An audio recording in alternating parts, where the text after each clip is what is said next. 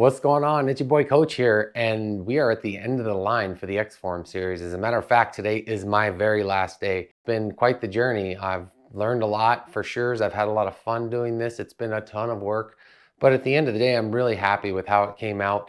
And it really isn't about, let's say, that popular view or something, you know, the whole goal of this was just lifestyle change and to better myself. And I think I've done that.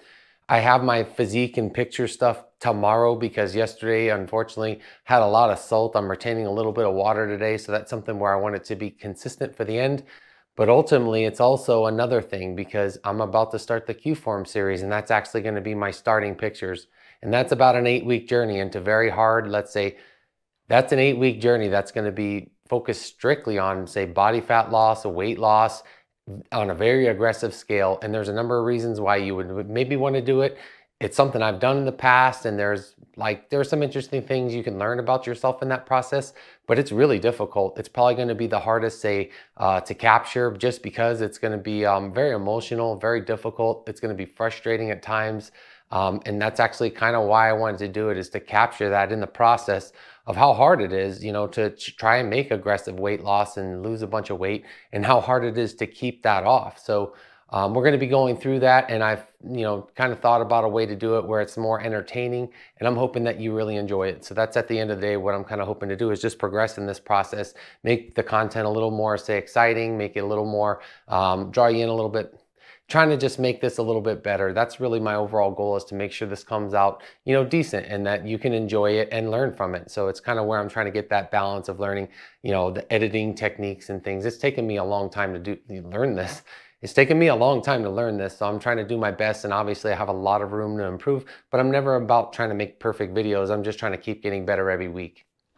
And so for this week, the advantage we're going to go over is my last advantage that I've had for obviously forever. It's the advantage of family. And it's something that this weekend applies specifically to me. So as I'm kind of going through the day, I'm going to probably try and capture some moments where you can kind of see that, you know, why it's my advantage and, you know, that I'm just so blessed. And it's one of the things that drive me to be healthier and push myself to be better, you know, to just be a better role model, be a better dad, husband. I'm always trying to push myself to be better. And this is just one of those areas that just naturally do that for me because, you know, I want to be a better contributor to this household and, you know, to my family. So with that said, that's kind of the reason I don't have a hat on right now because my hair is so long now that now I have a decision to make. And I had one in mind going forward with the X-Form. And unfortunately, I couldn't make up my mind. And I think my family wants to make that decision for me, which is fine. I just asked them that it be a drastic change. That's kind of where we're at there. So for right now, we're going to pop the hat back on because I'm more comfortable with a hat, especially because I don't like having long hair generally, but um, I kind of don't know what to do with it. So this is just easier for me and it's also gonna play a role, let's say, in the next series. So one quick, say, question I have, and this is maybe you can or can't answer, is what would you do if it was your last day, period?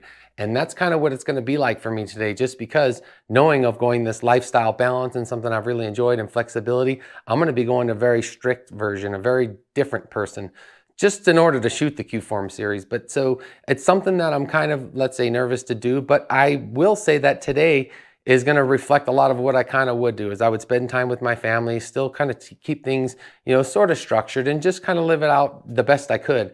And it's one of those things we don't always know our you know our days end. So what i'm going to do today for sure is, is capture some of the moments you know kind of what's what i'm going through you know enjoying that balance just kind of showing you you know that overall that i'm very happy in this process. It's not something that i'm just doing for camera. It's something that i, I actually have more joy off the camera because there's no stress of filming it so I'd like to just capture a few things today and that way you can kind of see that and really wrap this series up with what I think is kind of appropriate is just, you know, just showing my best self and showing what I've enjoyed most and a little bit of the moments, you know, that kind of keep me going and strive to do better in life. But ultimately, I, as soon as tomorrow starts, it's going to be grinding. So, and you'll get to see that if you follow me in the Q-Form series. So with that said, let's go ahead and get moving on our day. We got to go. We got to get moving to the gym. So it's about to get, I'm about to get started.